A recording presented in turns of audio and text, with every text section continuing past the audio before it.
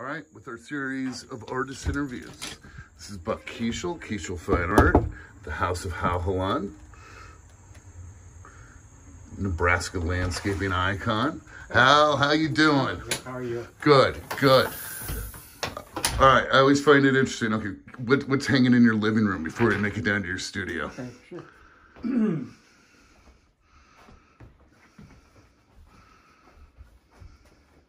uh, this is a printmaker from Philadelphia, uh, Wester Johnson.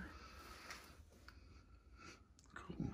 Uh, Oh, wow, that, Dan Howard. that's, an, that's, a, that's an old Dan Howard. How? What year would that be? Like Uh, 60s, maybe- 70s, 80s? 1980. 80. Yeah.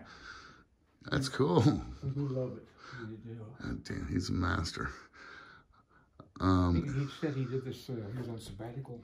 We're at, uh, It's Kensington, uh, Kensington Cathedral. nice, nice. All right, where are the maths back here? This is from Nepal. Got a friend who uh, got this from. Yeah, And that's a John Raimondi, the the guy who did the uh, sculpture at Eppley Airfield. yeah. Uh, That's before he went organic. Wonderful. All right, let's let's go down to Studio of. I love these old Dan Howards. yeah, I- I- You're probably my allergies and it's my voice this time of year. It's all right.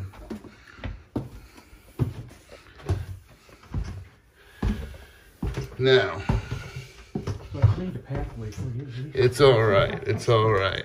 I love seeing like the the easels and the workspaces of the artists and kind of the work. Wow, got some great pieces coming along here, Hal. This is the commission for the O'Neills. That's yep, yep. That, that is looking fabulous. Now, okay. Now a little bit about the man. Like, tell me, growing up, where'd you grow up? Um, on a farm by Ord, Nebraska. What What did your parents do? They're farmers. Nice. Now, how many how many brothers and sisters did you have? I had one sister who passed away. Okay. Okay. Now, did your parents like encourage your art career from the time you were young? Like, what, what was your first like? What was your first? I mean, growing up in Ord, Nebraska. I mean, I can't imagine that you know you had a lot of art outlets as a young boy. What, what when was your first? uh Um, well, when I went to college, I, uh, well, I really didn't know what I wanted to do. Where'd you go to college? Hastings College. Yeah, very nice, Tom Osborne. And uh, eventually took a few art classes, but yeah, this was it. Yeah. The catch came, you mentioned my parents. Right. And I came back home and said I wanted to major in art. Right. my, my parents wanted probably just to be a doctor or whatever. Right. Right. They got an artist. Great. Now, where, where did you go from Hastings College? Like, what, what your earliest paintings? Tell me about them. Oh. What year are we talking? Um, first, first year in college was 1957. Okay, and what were you painting your first year in college? Uh, I tried a couple of landscapes actually, and uh, uh, we, we did a couple of portraits. Cool, cool. And, um, then uh, in my junior year, we had a new instructor come in uh, from Pennsylvania, really cool guy, and he introduced me to abstract, and I just took off like that. I loved abstract. Um, and I worked even into grad school with primarily abstract. And then um, every time I came back home, I thought, ah, something about the earth and sky relationship here that keeps bugging me. So it eventually came to this. Now, I mean, you're best known as a landscape artist, but I mean, you've really had several different kind of series throughout your career. I mean, from everything from, you know, truck stops to reflect the the reflective series all, all of these you know it's it, how, how do you continue to reinvent yourself as an artist Um, somewhat of a wanderer, I guess. Um, um, when I work through a series, um, I can't go past through that to another piece. Uh, some years ago, I did a series of abstracted skies, and I had a gallery in Chicago that was carrying them. And then one day I got a call saying, "We just sold your last one. Can you do some more?" So I went to the studio and nothing. Hmm. it was gone. That was it. Yeah. So I usually move on to something else. keeps keeps the blood flowing. Can, Yeah. can we look at like what you're working on, like back in the Oh, sure, yeah. the the outer rooms? You've always kind of been a morning artist, right? Like, what's your what's your, what's your daily routine? Uh, I'm usually down here by six thirty or seven. Yeah, and that doesn't mean I'm alive and working by that time, but Right. uh, get, get cranked up by then. yeah. And most, I mean, your your paintings are they're primarily morning sort of. You know, I mean, it's it's uh, sort of the sunrise as far as you know, you know, in lieu of the sunset. I mean, is it is there is there is there you know, I mean, is there a reason for you know why you've always been so much more attracted to the sunrise, or or are you just done with the day by the time the sun sets? I think it's the, the symbolism of the sunrise. Um, and like to joke sometimes that the older I get, the more I appreciate sunrises.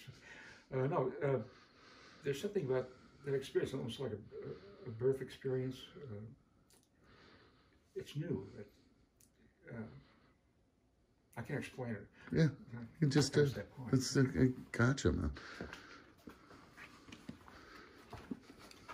This is a piece that um, uh, was purchased by a member of the Ponca Nation. They're having a fundraising project next spring. And uh, the title of this is Corn Silk Moon, which is Ponca for August. Mm, This is an older. What's when? When's this from? How? Uh, this is um, the 70s. Um, when I did the water image uh, exhibit with you, I think I had a few of these there. And I pulled this out, I'm just kind of playing with it. Uh, I've been working with some new materials and oils and uh, and I'm sort of thinking of a new series, so kind of bring this out. It's an opus I've ever, never finished, but um, still kind of intrigues me. All right, what do we have behind it? Uh, is- Uh, that looks like a cool color, so I, I can't. I, oh, your truck stop series! I, I love this series. I, I'm, uh, you know, it's uh, now this is what what's this like early '70s, mid '70s? Mid seventies, late seventies. Yeah, I mean it's. uh now Tell tell me tell me about the inspiration on the truck stop series. Um, well, I mentioned the um, painting series, the abstract skies that died, and so I was really um, I didn't know where, where to go next. And I was living in Grand Island at the time, working at Stuhr Museum. And one day I had a call from the Columbus Art Club to do a critique for the, the club. So it did. I drove over. As I drove toward Columbus, I was really pretty depressed. Um, I did this critique and coming back, see, I'd driven by this gas station during the daytime in Chapman. That was um, a Mobil station and the trucks parked outside. So coming back at night, it's absolutely transformed. so neon flying red horse uh, in the center, uh, the trucks lighted up. Wow! And that was the first time I got excited. You know, in several weeks. So that's my pursuit pursued that series. That's cool. That's- Uh, no no chance of you ever going back and doing a modern day truck stop? Because the the love stations don't have quite the cachet. It's, it's changed a lot. Uh, the, I love neon, and uh, very hard to find, and It is. I don't like the glare of mercury lights. I don't know. Anyway, that's why I pulled these two out. I'm still thinking of uh, a new direction or reviving uh, some of them. And that it actually isn't finished either, That's great. as far as I got. That's great. That's great. What do you mean it's not finished? So, so are, are you gonna? Oh. Would you would you ever go back to a paint? See, this this is a problem that I've run into with you in the past. You'll mess with the painting that you did with it. That's a great painting from 30 years ago. Then you'll get frustrated and like you'll like have some bonfire and the painting will go bye bye. As I like to say, I take it up behind the barn and shoot. I know, I know. Please do not shoot that this painting. I will pick it up and hide it from you. Um, but uh, or yeah, God, yeah, wonderful, wonderful. Okay, now as an artist, oh, this is fabulous, Al. That's a nice one that's coming along. Now, okay, what in your process, like how many paintings do you generally kind of keep juggling at once? Because I know you you have various paintings that are in various stages of completion, and and uh, is there is there a process, or is it more or less when you feel that painting, you can paint that painting, and Yeah, I work on usually three or four at a time. You've seen those now. I'm working toward an exhibit, I'll have six or eight. And I, I work in stages and very thin layers. I uh, sort of changing my te- technique. I got overly textured uh, the last few years. I'm pulling that down now. But um, I, it's impossible for me to take one painting and work it all the way through to the end, then start a second one. I like to have the group um, in progress. Sometimes one will play off the other. And, uh, how how has the current like world climate affected you? Or like you know the whole COVID thing, the uh, well, I'm quite reclusive, you know, it doesn't bother me all that much. It bothers my wife much more. right. Much But we do go out, you know, get out once in a while. Uh, it, it's depressing. Uh, the political scene, um, the, the COVID scene, the climate. We saw the big Trump flag out in your your yard. No, he didn't. I know. I'm just kidding you. I'm just Yeah, kidding you. I'm just joking. So, Yeah, th- this is this was a study uh, here. I did a commission for the uh, new VA clinic, mhm. and I saved that study. And then this is some sort of variation off that, the same feel at least. yeah, that's great. Now,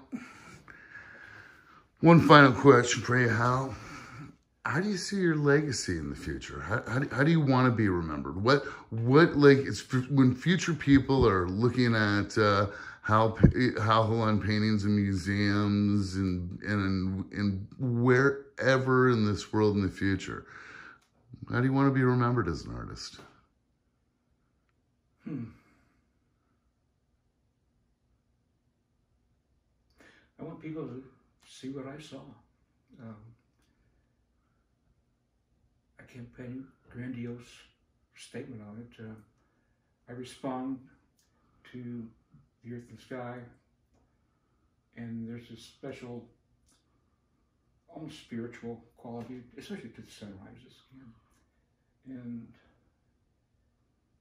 I'd like have people look at the sky. Yeah.